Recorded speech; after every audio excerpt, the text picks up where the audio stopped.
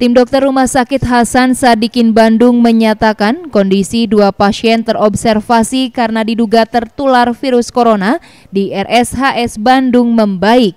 Menurut Ketua Tim Infeksi Khusus RSHS Bandung Dr. Yovita Hartantri, resiko pasien WNA China yang bekerja di Kabupaten Bandung Barat tertular corona dinyatakan ringan sehingga hanya dalam pemantauan.